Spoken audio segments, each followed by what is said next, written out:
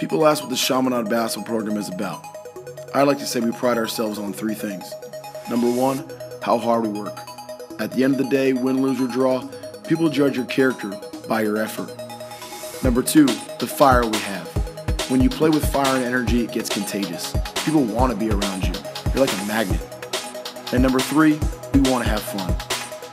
I don't want to make this a job or chores for these guys. Life's too short. We want to make sure each day is fun and they want to be here and they're excited to be a part of this program. Those three things is what we truly pride ourselves on.